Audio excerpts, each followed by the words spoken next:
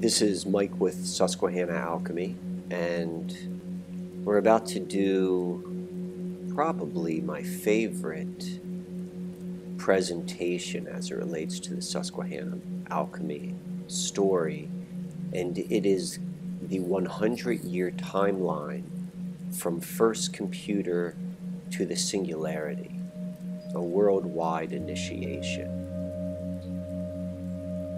And the picture, which is on the cover, is a painting of John Dee performing an experiment before Elizabeth I. And we're going to come back to this at the end. But the reason why we are starting this is because the entire information age has all the signs particularly on the subtextual level, of being the byproduct of Enochian magic.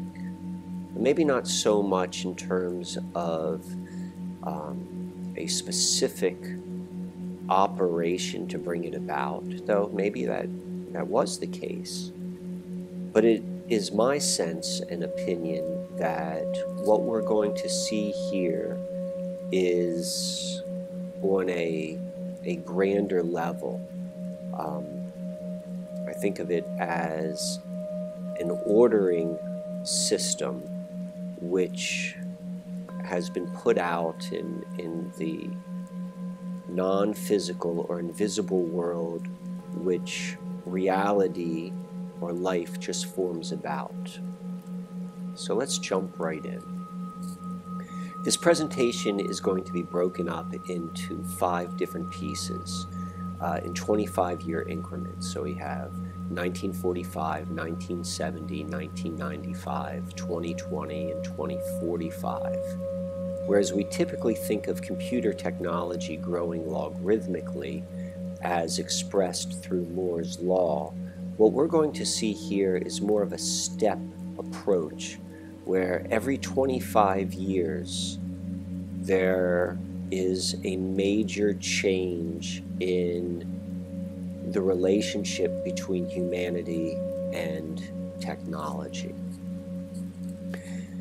Now, Enochian magic, um, particularly from the perspective of the entities which transmitted it to Dr. John Dee, is inherently apocalyptic. And I recommend the video, The Enochian Apocalypse, or reading the, the essay by Donald Tyson of the same name, The Enochian Apocalypse, to get more into that. And the apocalypse or an apocalypse has three aspects it has the, the destruction of one age, the birth of a new age, and the revelation or the revealing that it's happening and how it's occurred. And so, computer technology is primarily a, an aspect of creating this new age which we are coming into. I would suggest that some of the shadow elements or darker elements associated with computer technology plays upon more of a destructive element or bringing down what was before, um, even uh, um, uh, bringing unwitting people along on a certain path. But nonetheless, the ultimate purpose is, is to create something new. And so I want to give a couple definitions first because they're, they're somewhat interchangeable. First is the golden age or a golden age. And, and this means a general period of time corresponding with prosperity, well being, and harmony between humanity and then um, with the environment. So the golden age is, is, is generally a good thing. However, a golden age can be relative. One man's golden age is maybe another man's prison. So the second definition is the age of Aquarius. And so now this gets into the language of the precession of the equinoxes. And we are moving into the age of Aquarius, Um, and this is defined by, um, by the constellation Aquarius at the um, rising in the western or northern hemisphere on the, the equinox.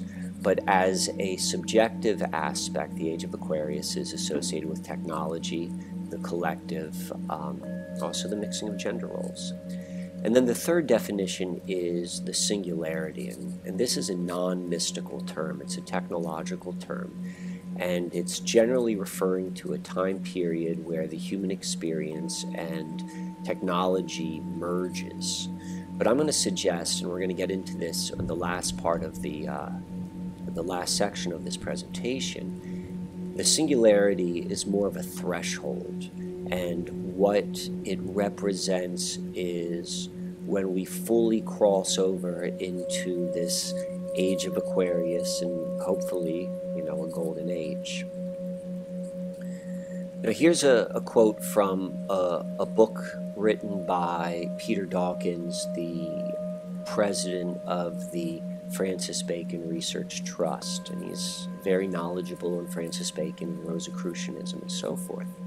And here it says the aims of Brother Christian Rosenkreutz and the Rosicrucian fraternity is laid out in the Rosicrucian manifestos and subsequent publications.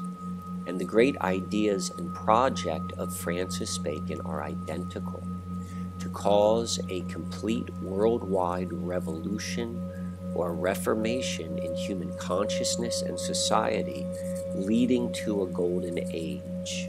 And so we want to begin this by stating that this Rosicrucian movement, which connects with John Dee and Francis Bacon, um, was very apocalyptic in nature, um, both in terms of the coming of the old age, but more focused upon creating the new age.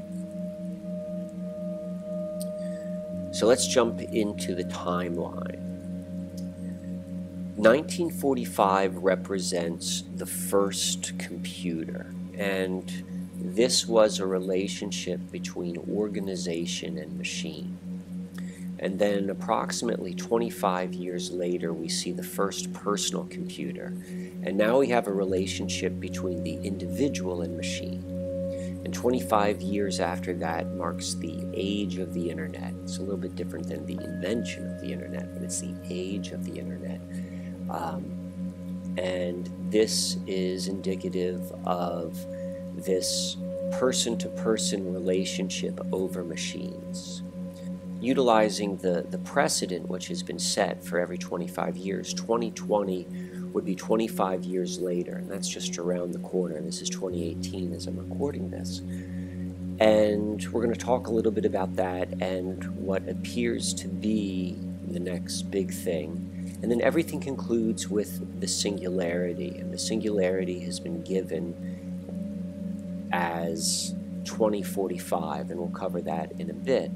But we can see there's this perfect 100 year transition or 100 year period from the beginning point, the first computer, and the end point, the singularity, which is where the computer and all this technology is taking us to. Within the Susquehanna alchemy teachings, there's another timeline which is talked about frequently, and that's the 400 year magical operation built upon the Susquehanna River, and that's from 1607 to 2007. And so now we have this other timeline, which is 1945 to 2045.